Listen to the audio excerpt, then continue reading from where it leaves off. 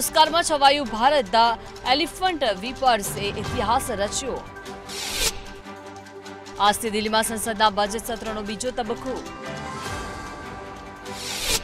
મોંધાણા પ્રસાદને લઈને મહારાજાનું ટ્વીટ હાઈકોર્ટના દ્વાર ખખડાવે તેવી શક્યતા. રાજ્યમાં આજથી કમોસમી વરસાદની આગાહી. અમરેલીમાં રખડતા ઢોરનો ત્રાસ યથાવત સગીરાને હવામાં ફંગોળી. આવતીકાલથી શરૂ થશે બોર્ડની પરીક્ષા શિક્ષણ વિભાગે તૈયારીઓને આખરી ઓપ આપ્યો. ફેસબુકની માલિકી ધરાવતી સોશિયલ મીડિયા કંપની મેટાની ચટણી સિઝન હજી પૂરી થઈ નથી. ભારત અને ચીનના સંબંધોમાં છેલ્લા કેટલાક વર્ષોથી ખટરાશ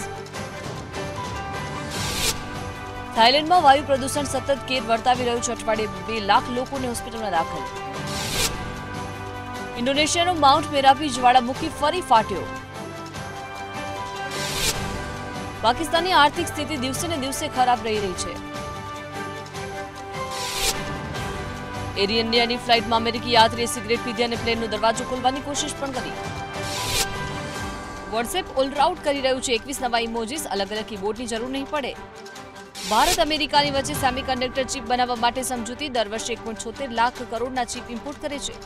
ભારતીય શોર્ટ ફિલ્મ ધ એલિફન્ટ વિફર્સે બેસ્ટ ડોક્યુમેન્ટરી શોર્ટ એકેડમીમાં એવોર્ડ નાટુ નાટુના પરફોર્મન્સમાં હોલિવૂડ ઝૂમી ઉઠ્યું. સત્યાવીસ વર્ષના કોસ્ટા ટીચનું પરફોર્મન્સ દરમિયાન સ્ટેજ પર મોત.